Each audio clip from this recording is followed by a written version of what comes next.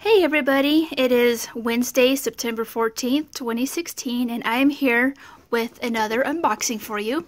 This time it is for a Sunpak 6630LX 66 inch tripod, and this is for cameras, GoPro, and smartphones. So, having all three capabilities is really an answer to my prayers.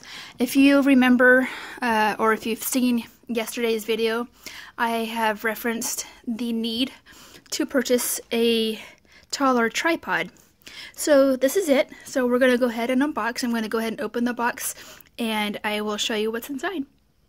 Okay, now that we've got everything out of the box, this is our tripod.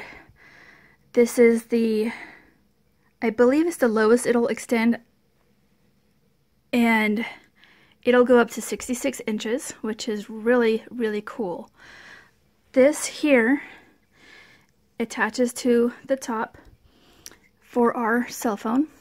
I'll go ahead and attach it in a few minutes and I'll do a review. This here is a, an attachment that allows your phone or your camera to tilt. So that's pretty handy. It also comes with a carrying case. Now this thing feels like it's very well made. Um, it has a zipper on the other end that allows you to carry your equipment safely. So that is the unboxing portion. I'm going to go ahead and set it up and I'm going to put my cell phone on it, which is what is being used to film this video. And I will be right with you. Okay, this is the um, tripod uh, this is a continuation of the tripod video and I am honestly holding it right now because if I didn't I would have to have my camera zoomed out and if I did that then you would see what's around the curtain behind me. So this is um, basically the best I can do for this particular video but in my next video I'm hoping to figure out a way to zoom in on my phone.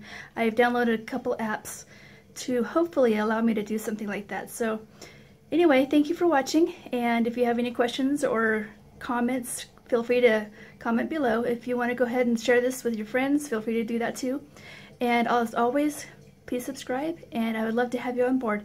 Thank you again for watching, and I will see you in my next video.